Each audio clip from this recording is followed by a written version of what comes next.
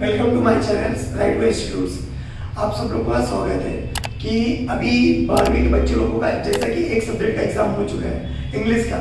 काफ़ी बच्चों का अच्छा भी गया, काफ़ी बच्चों का खराब भी गया। जिसके वजह से बहुत बच्चे लोग टेंशन में आए organisation of commerce and management एक ऐसा सब्जेक्ट है जो बहुत ज़्यादा प्रॉब्लम्स दे रहा है सबको, कि बहुत ज़्यादा तकलीफ़ दे रहा है, कि मतलब सर, हमारा कुछ हुआ नहीं पढ़ के। हम शुरू से पढ़ रहे सर, लेकिन याद कर रहे हो भूल जा रहे और सर याद भी हो रहा है तो सर हमारा पता नहीं चला कि हमारा हुआ है कि नहीं। और इसकी वजह से हमको उनको पास इम्पोर्टेंट क्वेश्चन ही रहे तो इसके वजह से हम लोग ने सोचा है कि अब बच्चों को टेंशन लेने की ज़रूरत नहीं है। जो बच्चों का कुछ भी नहीं हुआ है, वो बच्चे, अब मैं तुम लोग को जो भी प्रोवाइड करूँगा must do list must do list for OCM मतलब organisation of commerce and management के लिए।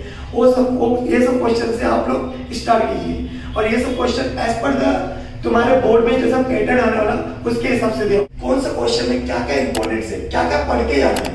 बस उसका एकदम जो बोर्ड में प्रीवियसली आस्क किया गया है पास्ट ईयर का पेपर्स को देखते हुए, मैंने अपने हिसाब से एनालिसिस करके बनाया हूँ, जो डेफिनेटली आपके एग्ज़ाम में दिखेगा ही तो आपको मैं वन बाय वन एक्सप्लेन करने जा रहा हूँ। तुम्हारा ये पेपर पैटर्न है, जो तुम्हारा ओसीएम का है, ये हमारा मस्ट डू लिस्ट है।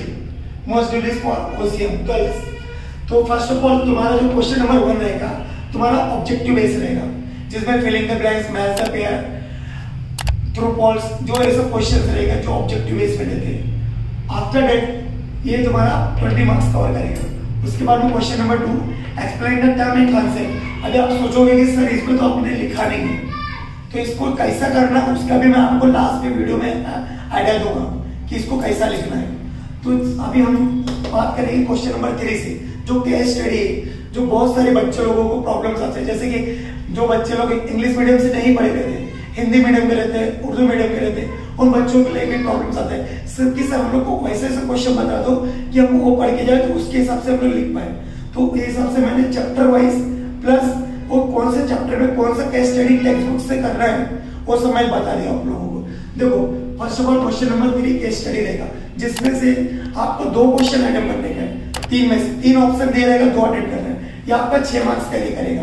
एक मार्क्स एक केस स्टडी तीन मार्क का है। जिसमें चैप्टर नंबर वन में मैंने देखो केस स्टडी तुम टेक्स्ट बुक के पीछे जाके देखोगे तो केस स्टडी का भी दिया रहेगा एक्टिविटी तो उसमें मिस्टर हर्षद करके रहेगा क्वेश्चन तो वो करके जाना है आप लोगों को। उसके बाद में क्वेश्चन नंबर टू में दोनों इंपॉर्टेंट है। Mister Ram and X Y Z company इन दोनों में से मोस्टली आर्क्स पूछा गया क्वेश्चन कि कभी कभार राम का भी पूछा गया कभी कभार एक्स वाई जेड का भी।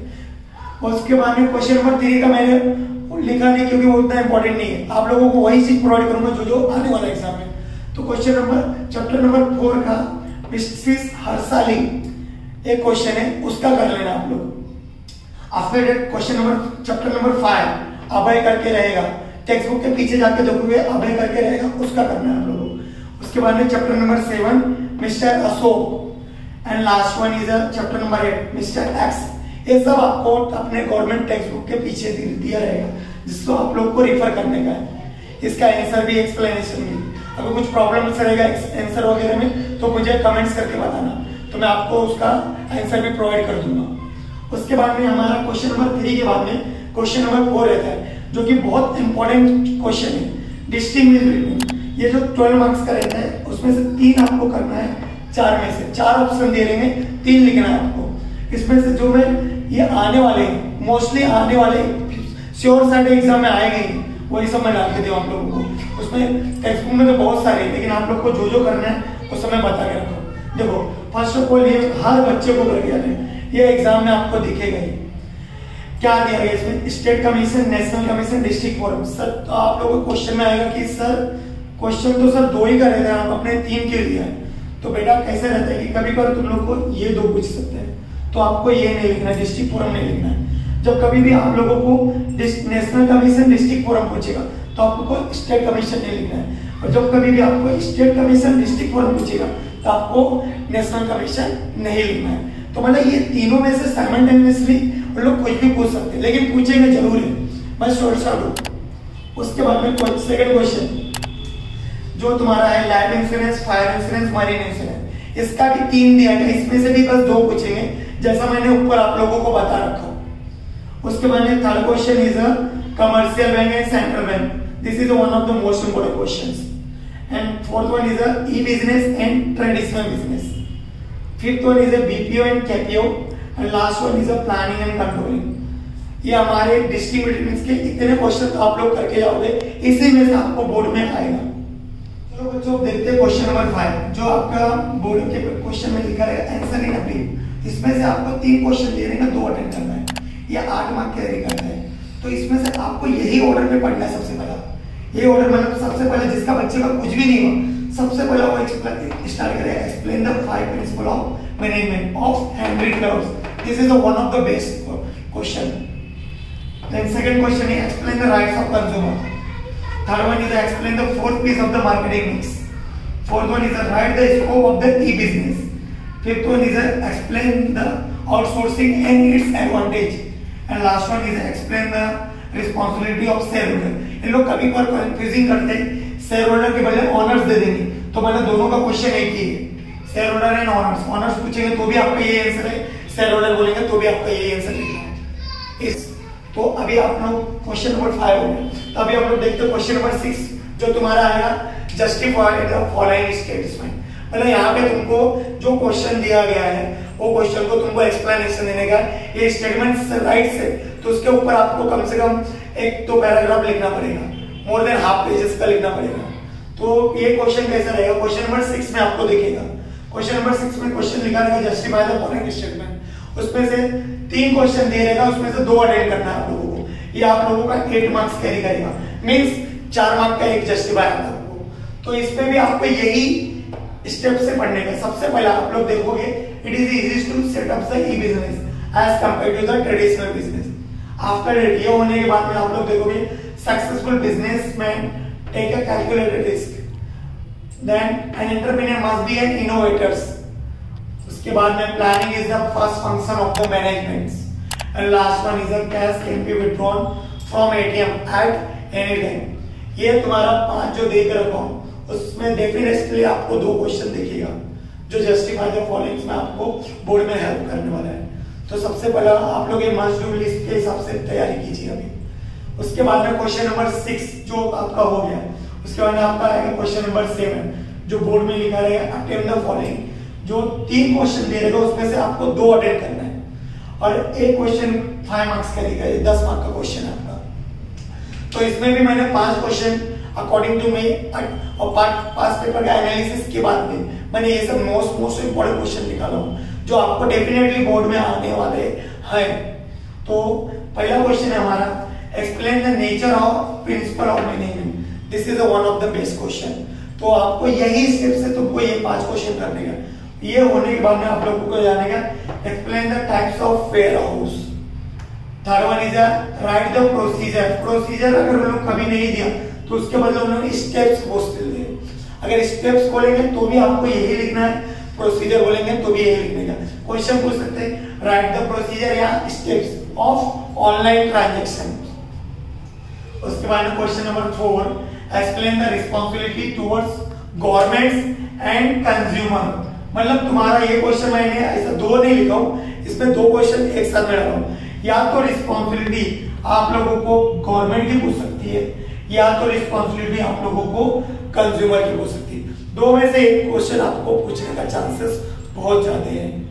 उसके बाद में last question is explain the types of fire insurance policy मतलब types of fire insurance policy भी आप लोगों को करके जाना है। तो यही स्टेप्स आप लोग फॉलो करो। जो मोस्ट टू मोस्ट सबसे इंपॉर्टेंट मैं आप ऊपर रखा। हूँ मतलब पहला नंबर बोलो फिर दूसरा, तीसरा, चौथा, पांचवा। देन क्वेश्चन नंबर सेवन होने के बाद में हमें क्वेश्चन नंबर एट आठ मार्क का एक क्वेश्चन देता है। उसमें दो क्वेश्चन हम लोग को पूछे रहेंगे। दो क्वेश्चन में से हम लोग को एक अटेंड करना है। तो इसमें मैंने आप लोगों के लिए बस तीन क्वेश्चन इंपॉर्टेंट लिखा। इसी में से डेफिनेटली तुम्हारे बोर्ड में एक क्वेश्चन आएगा। ये तीन में से। तो आप प्लीज़ ये तीनों क्वेश्चन को अच्छे से प्रिपेयर करके आओगे।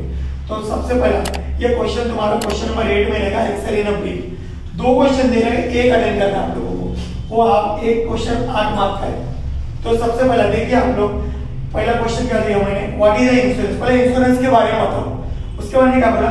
एक्सप्लेन इट्स प्रिंसिपल मतलब उसके बाद में प्रिंसिपल्स क्या है इंश्योरेंस के, उसको आपको एक्सप्लेन करके देने का then question number two define bank banks क्या होते हैं? बैंक का इंट्रोडक्शन मीनिंग एंड डेफिनेशन उसको पहले तुम डिफाइन करो। उसके बाद में आपको बोला है explain the different types of bank मतलब आप लोग डायरेक्टली टाइप्स ऑफ़ बैंक मत लिखो। पहला बैंक के बारे में भी बताओ। ताकि एट मार्क का क्वेश्चन है आप लोग को थोड़ा सा, दो चार लाइन उसको लिख के दिखाना पड़ेगा एग्जामिनर को, क्योंकि हमको उनसे मार्क्स लेना है। Then last question is explain the function of marketing in details in details मतलब बोल दिया तो। मतलब आपको मीनिंग एंड डेफिनेशन इंट्रोडक्शन जो भी रहेगा मार्केटिंग का, आपने टेक्स्ट बुक में देखे रहेंगे, उसको भी लिखना है आपको। तो ये सब ओवरऑल जो मस्ट डू लिस्ट आपको मैं प्रोवाइड किया हूँ organization of commerce and management का, ये डेफिनेटली मैं सोच रहा हूँ कि आपके एग्ज़ाम में आने वाले हैं। तो जो बच्चे लोगों का कुछ भी नहीं हुआ, आपसे मैं रिक्वेस्ट कर रहा हूँ, घबराने की ज़रूरत नहीं है। अभी भी टाइम बचा है आप लोगों के पास। आज कितना तारीख है? छह तारीख है। छह, सात, आठ नौ को आपका एग्ज़ाम है। आराम से आप लोग अगर ये अभी देखने के बाद में अपना लिख लो ये सब, अपने बुक में। फिर आप देखो कि क्या क्या आपका हुआ है क्या क्या नहीं हुआ। और जिसका कुछ भी नहीं हुआ, उन लोग बस इतना करके जाओ।